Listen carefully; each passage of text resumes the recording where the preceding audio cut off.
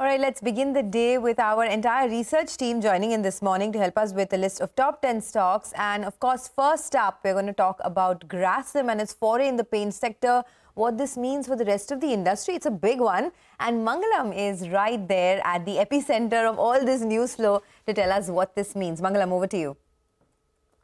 Now, I'll be watching out for a lot of the paint companies like Asian Paints, Berger, at the same time Kansai, as well as the others, largely because of uh, the big launch that will be announced uh, from the House of Birla's Birla Opus, the paint business. What we know so far is that the overall capacity that they are targeting is close to 1.2, 1.3 million kiloliters eventually, which is similar to what Berger has right now, a little lower than Asian Paints at around 1.85 million itself. What's important to know is the market share target that they have over the next three to five years, the ability for them to take the losses in terms of investments that they're doing in the supply chain, distribution, and the marketing itself, and uh, what are their medium-term revenue targets. Those are important details that will perhaps be revealed in the press conference and the conversations that we have with the management today. Until then, there would be some nervousness on all the paint stocks, so those will be the ones that I'll be watching out for today. Indeed, Mangalam. Thanks a lot for that. Well, let's hop across to Hormaz. He's here to tell us about some defense companies. Morning, Hormaz. Morning, Nigel. And there were some amendments to the FDI policy with this particular reference to the space sector and the defense companies related to that. And the, the Union Cabinet yesterday has allowed 100% FDI in the space sector. They've broken it down into three sections where there is varying degree of direct FDI post which the FDI for the remaining bit will come via government approval. So the first one is a 74% FDI under the automatic route for satellites, for manufacturing and operations, satellite data products, and the ground segment and the user segment. That will have a 74% direct FDI, and the rest will come via government approval if need be. The second one is 49% FDI under the automatic route for launch vehicles and associated systems or subsystems and the creation of spaceports. And lastly, there is a 100% FDI under the automatic route for manufacturing of components and systems and subsystems for satellites and ground segments and user segments. So it's good news for stocks like Apollo Microsystems, Walchand Nagar, expect them to open in the green today. All right, uh, Hormaz, thanks very much uh, for that. Well, uh, we'll uh, keep an eye out on some of these stocks, actually. Eureka Forbes is uh, the other one. I mean, you know, block after block. Abhishek is here with details. Abhishek.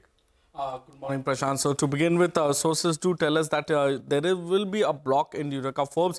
Uh, Lunolux will sell about 12% stake. Uh, so the base issue size is about 957 crore, which can be upside to, uh, upsized to about 1,149 crore.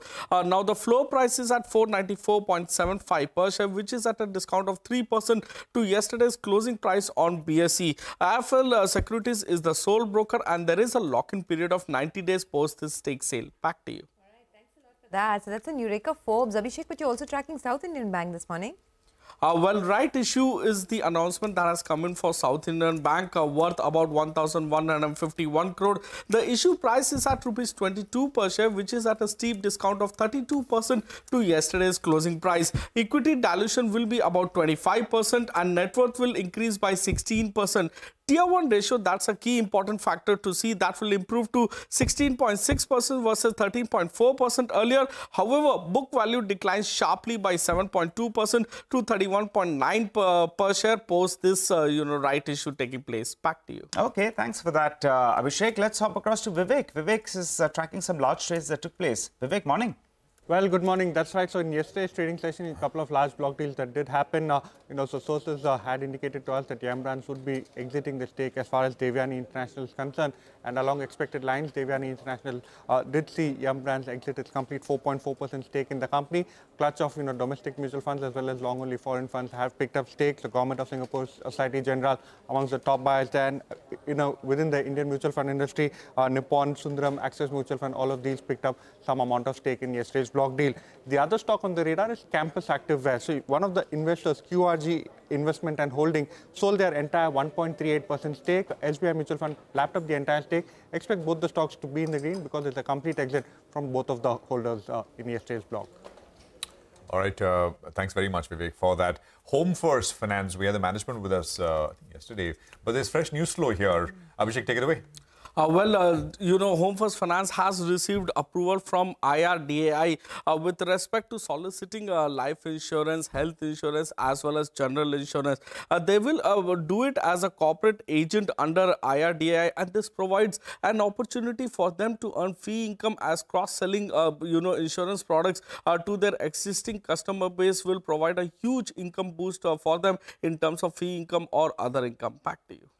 Thanks a lot for that. Well, sugar companies are in focus as the cabinet has approved the FRP. That is, uh, so uh, Vamakshi is joining in to really explain to us what this really means and what is in it for the sugar stocks. Vamakshi, over to you. Well, yes, good morning, Sonia. Uh, the cabinet has gone ahead and hiked the fair and remunerative price, that is the FRP, for sugarcane to 340 rupees per quintal from the existing 315 per quintal. Now, just to give you context, FRP is the minimum price that mills have to pay to sugarcane growers.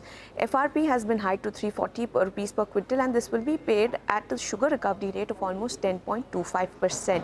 Uh, they've also gone ahead and provided a premium of almost 3.32 rupees per quintal for every 0.1% increase, which essentially means that for each increase of recovery by 0.1%, farmers will get an additional price of 3.32 rupees. Uh, this rise in FRP is for sugar seasons in 2024-25 uh, and this actually starts on October 1st, 2024. They've also gone ahead and fixed the FRP for sugar factories with a recovery of almost 9.5% or less at 315.10 per quintal. Largely, let's also assess the impact uh, that could come through for major sugar companies. Uh, this is sentimentally negative for Balrampur Chini, Dwarikesh, uh, as well as Triveni Engineering. And I say sentimentally because this may not affect sugar mills in UP because prices over there are governed by a separate pricing mechanism called SAP. Uh, SAP in UP uh, very recently was also revised and that has already been factored into the prices of all of these stocks. However, we are expecting slight bit of an impact to come in for EID Parry, which has its mills in some other states. Okay, thanks for that, Vamakshi. Uh, let's go to Sudarshan and wind this down with some more stocks in the news. Sudarshan. Yeah, that's correct. So I have two stocks. First one is NBCC. Company has got in principle approval from Greater Noida Authority to develop five Amrapali projects worth rupees 1000 crore. Company will develop unused and purchasable FAR apart from existing projects. What is purchasable FAR? That means old allottees can buy over and above the FAR that is floor area ratio allowed at the time of actual allotment.